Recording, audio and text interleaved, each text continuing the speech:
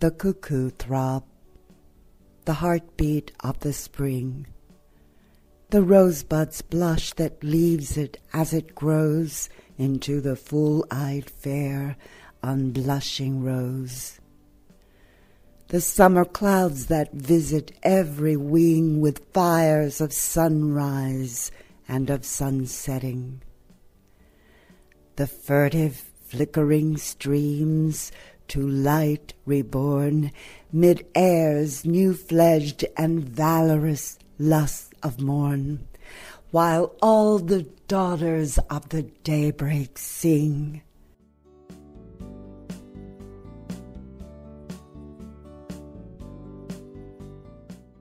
These ardor loves and memory, and when flown all joys, and through dark forest boughs in flight, the wind swoops onward, brandishing the light.